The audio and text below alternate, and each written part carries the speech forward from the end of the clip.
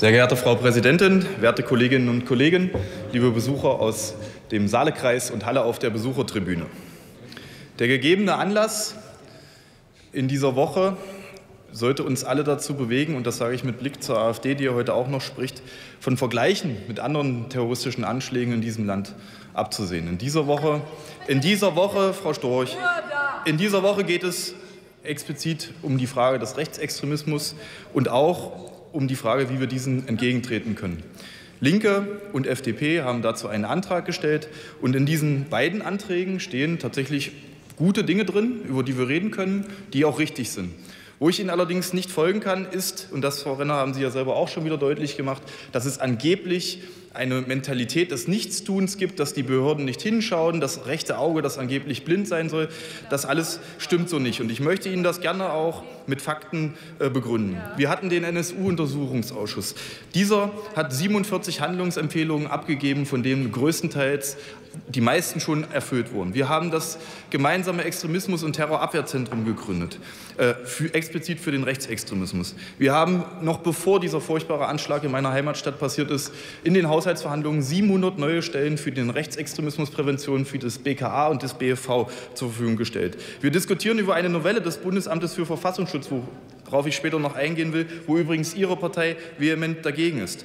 Wir haben eine Novelle des Telekommunikationsgesetzes vorbereitet. Wir haben im Internet rechtsextreme Plattformen wie die Weißen Wölfe, Terror Crew, Alter Media verboten.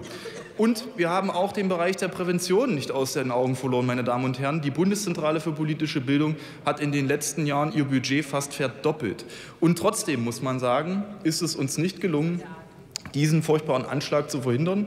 Und ich sage es hier, wir müssen auch vorsichtig sein, den Eindruck zu erwecken, dass es jemals einen Schutz geben wird vor solchen radikalen, wahnsinnigen Einzeltätern.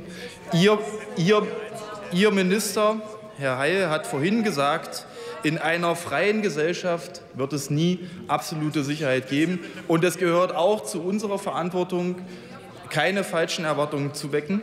Dennoch, dennoch gibt es Handlungsfelder, in denen wir sehr wohl noch etwas unternehmen können. Und da danke ich explizit der FDP, wenn wir über das Thema Waffenrecht reden. Sie schreiben in Ihrem Antrag, ein Generalverdacht bzw. eine Kriminalisierung aller legalen Waffenbesitzer darf es in unserem Land nicht geben. Schauen wir nach Halle. Nach allem, was wir wissen, hat der Täter sich seine Waffen aus dem Internet besorgt. Er hat dort illegale Foren aufgesucht. Er hat Bauanleitungen runtergeladen, mit deren Hilfe es möglich war, ganz normale Dinge aus dem Alltag zu Waffen umzufunktionieren.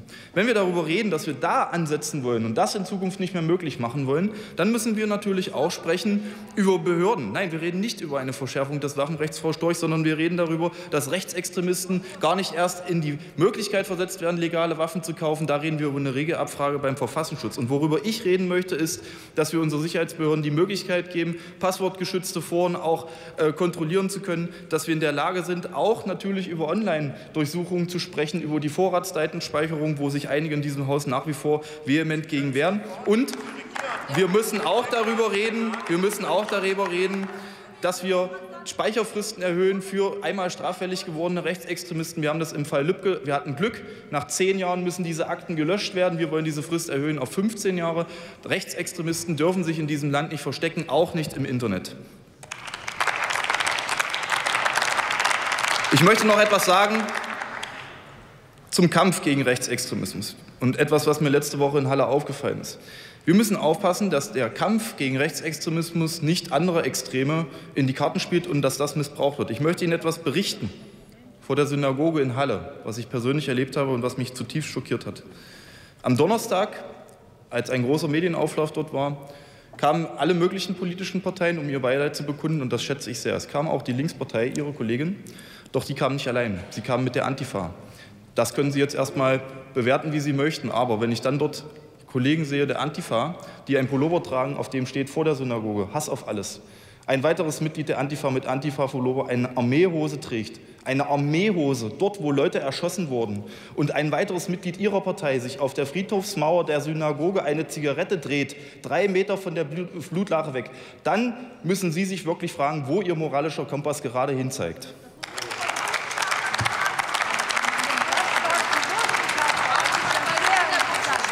Ich kann, das alles, ich kann das alles belegen. Empören Sie sich über Ihr Verhalten und nicht über das, was die Realität ist. Meine Damen und Herren, dieses Land ist schon oft Opfer von verschiedenen terroristischen Anschlägen geworden. Und bis jetzt ist es uns immer wieder gelungen, gegen alle Widerstände vorzugehen und freiheitlich weiterzuleben. Das wird uns auch im Kampf gegen Rechtsextremismus gelingen, aber nur, wenn wir unsere Behörden und Sicherheitsämter mit den nötigen Mitteln und auch den rechtlichen Befugnissen ausstatten. Wir sind auf dem besten Weg dahin. Ihr Kollege Dietmar Bartsch hat gesagt, er wird uns nicht behindern, wenn wir jetzt Anpassungen vornehmen müssen, die dringend notwendig sind. Wir nehmen sie beim Wort. Herzlichen Dank.